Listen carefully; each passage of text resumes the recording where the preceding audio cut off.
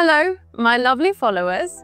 Imagine transforming your image generation workflow with pinpoint accuracy, creating art that not only stands out, but feels almost alive. Today, I'll show you how to unlock the potential of Flux Region's spatial control and reveal a game-changing technique that will elevate your results to the next level. Stick around until the end, where I'll share an advanced tip that could completely change how you use this tool. Before we dive in, don't forget to like, follow, and subscribe to stay updated with more tutorials like this. Let's make your creative journey extraordinary. Before we start, check the requirements. To run this workflow, you'll need the following comfy UI nodes. Impact Pack for the INT noder.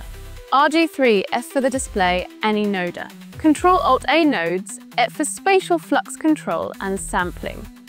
Python Gosses sit for the show text node. Ensure Comfy UI is updated to the latest version. This workflow requires PyTorch 2.51 or later with CUDA 12.4 or later, Python 3.2 or later.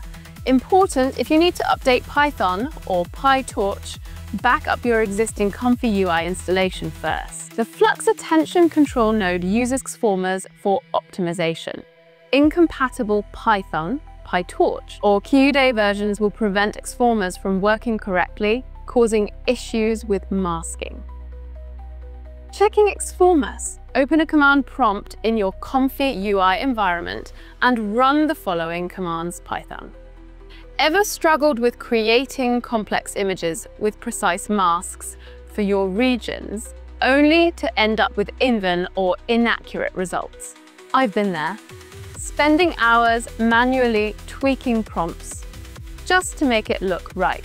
The region generator and processor group simplifies this process with three powerful noders, the integer generator, region mask generator, and region mask processor. Here's how it works. The integer generator's impact to NT defines the number of regions to mask.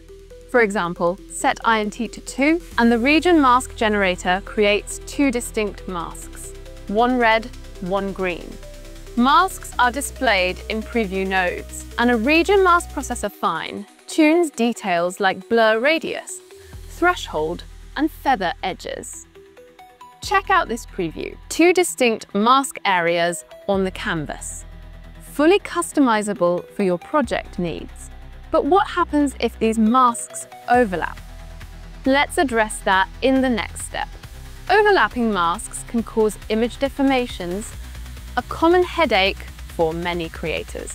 I've seen perfect designs ruined by bleeding between regions. The Region Validator Group uses a Region Mask Validator node to detect and quantify mask bleeding. Any overlap is displayed in the display any RIG3 nodes, showing the percentage of bleeding. This allows you to fix issues early and ensure smooth results. An example. In this demo, overlapping regions were detected with 15% bleeding easily corrected with a few adjustments. With the regions validated, let's dive into the core of Flux's power, the model itself. Using a general diffusion model can feel limiting, especially when working with multiple regions. And achieving detailed control over each region felt impossible until now. The Flux core group integrates the Flux diffusion model, clips, and LoRa's for unprecedented control. The LoRa loader stack supports multiple LoRa's, and future updates promise even more flexibility, allowing individual LoRa's for each region. Combine this with an empty latent image node for initializing your creative space. Here's a sneak peek at an intricate design created with Flux and LoRa's working seamlessly. Now, let's supercharge your prompts in the next step. Generic prompts often lead to generic results.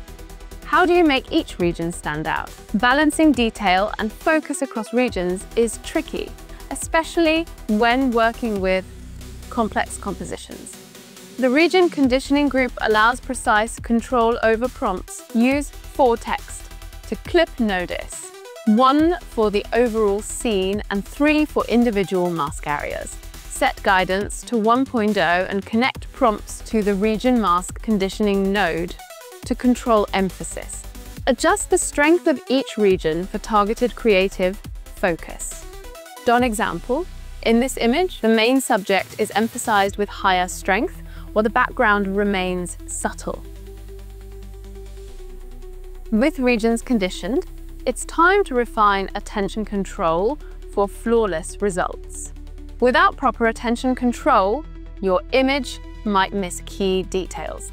I used to rely on trial and error to achieve the right balance, a frustrating and time-consuming process.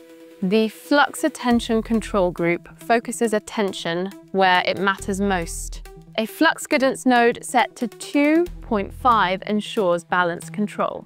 The Flux Attention Control node consolidates regions, prompts, and models, readying them for the sampling phase. Error example. Notice how the Flux Guidance node enhances clarity in this example. Or the final step is where the magic happens. Let's generate our masterpiece. Sampling without optimization can result in subpar images or memory issues. I've lost hours to inefficient sampling workflows. The flux sampling and clean upgroup ensures seamless image generation. Use flux sampling nodes with DP MPP's ancestral sampler and normal scheduler for the best results. The region overlay visualizer shows mask influence areas on the final image. The flux attention cleanup node preserves workflow memory for future sessions. Ready to take your creations even further. Let's wrap this up with a key takeaway. You've just learned how to master flux region spatial control, from generating precise masks to creating attention, focused, optimized designs. By integrating these techniques, you can elevate your creative projects, unlocking a whole new level of precision and artistry. Don't forget to like, follow, and subscribe for more advanced tutorials. And if you want exclusive tips, join our Patreon community today. Let me know in the comments which step do you think will make the biggest difference in your workflow. I can't wait to see what you create.